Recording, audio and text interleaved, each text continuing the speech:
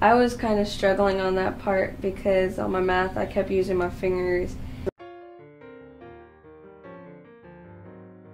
Right now I'm mostly an A student. We see that Maddie's not struggling as much anymore with her homework. Uh, she tends to work through her um, problems on her own. It's a really nice place and they have fascinating facts and it's a really uh, neat place to be. Teaching the fundamentals is the best way and that's what it does here at Gideon.